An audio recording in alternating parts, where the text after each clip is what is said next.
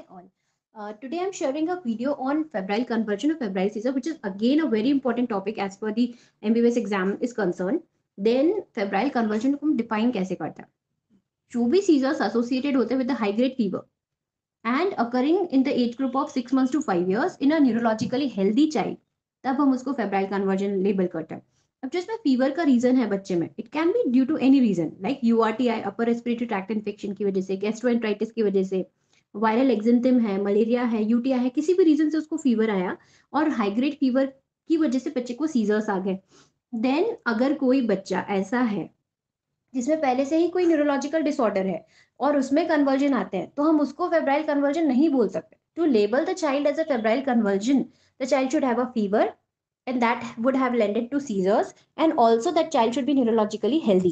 Another thing we need to do is, जब भी febrile convulsion का बच्चा हमको मिलता है तो फीवर और कन्वर्जेंस है तो हमको रूल आउट करना होता है मेनिंजाइटिस कि कहीं ये फीवर और कन्वर्जेंस अंडरलाइन इंट्राक्रैनल इन्फेक्शन की वजह से तो नहीं है।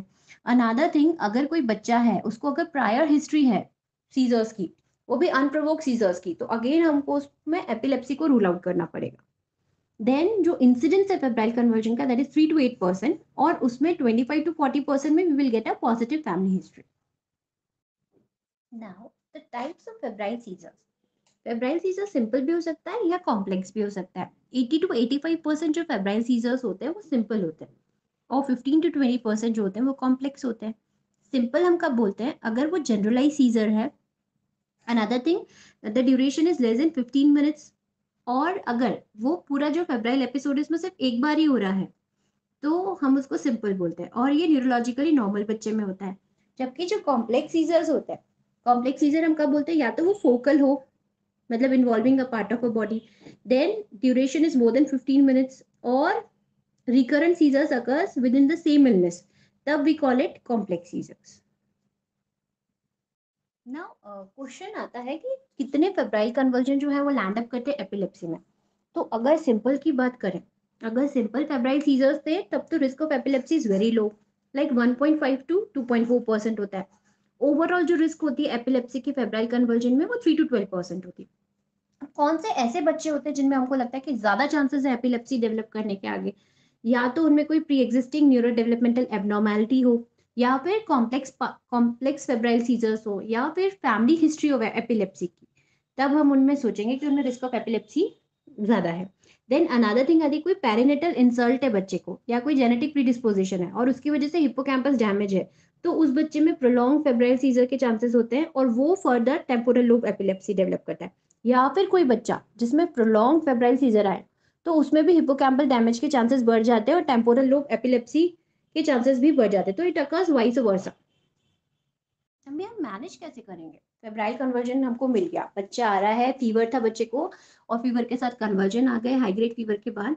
एंड uh, हमने उस कन्वर्जन को मैनेज करना है। सपोज़ कोई एक्यूट एपिसोड में आ रहा है तो हम उसको आईवी लोराजेपैम या आईवी मिडाजिलैम से हम उसको कंट्रोल करेंगे सीजर्स को। सपोज़ कोई स्टेटस में आ रहा है कॉन्टिन्यूस सीजर्स के साथ स्टेटस में आ रहा है. देन हम जो स्टेटस एपिलेप्टिकस का प्रोटोकॉल है एबीसी मैनेज करके then we will load with lorazepam और midazolam then we will go for phenytoin वेल्ट्रोइन तो हम उसी प्रोटोकॉल से मैनेज करेंगे. नाउ सपोज़ एक बच्चा है जिसको फ्रीक्वेंट रिकरेंस है. फ्रीक्वेंट मतलब बार बार फेब्राइल कन्वर्जन आ जाता है. तो अगर मोर देन थ्री एपिसोड है इन सिक्स मंथ्स या फिर फोर या फोर से ज़्यादा है इन वन ईयर तो उसमें रिस्क ज़्यादा होगी.